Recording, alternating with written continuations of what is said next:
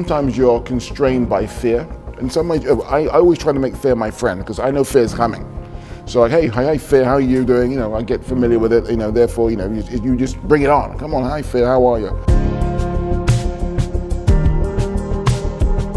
You have to give over often to your first instincts. You try to stop yourself. You try to sort of manage it. No, that's, that can't be right. That doesn't sound. That sound. That doesn't sort of uh, sound correct.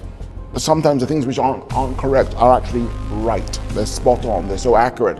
But because they, they, come at you in, in such a sort of uh, surprising way, you tend to sort of uh, try not to acknowledge it. And so I learned on Widows, sometimes I would do like 10 or 12 cuts, uh, takes rather.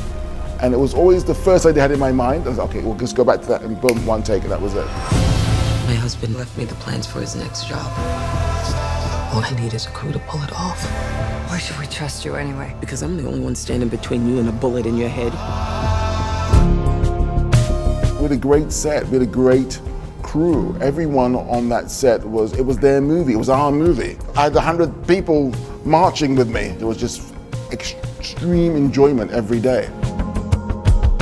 The first set I ever came on, the film set I came on was my own. I never went on a film set before, and that was deliberate because I didn't want to learn other people's habits.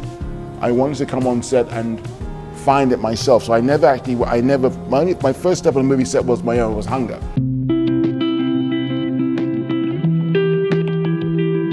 First film that shook me to the core was Zero de Conduite by Jean Vigo. He only made, I think, two films in his whole life and, and one short. And that film had a huge impression on me because in some ways, yes, it reflected my childhood in a way. It was about an old boys boarding school. That institution and how it tried to shape these kids and how they broke free of the shackles of the institution.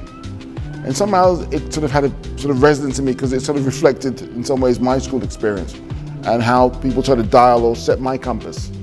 And it had a huge impact on me. It's, it's kind of surreal, it's kind of beautiful. It sort of transforms and transcends itself.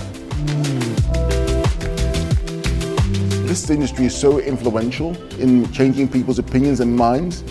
We have a duty to do that. Um, you know, we are the arts. And often we're the leader in changing people's minds and perceptions.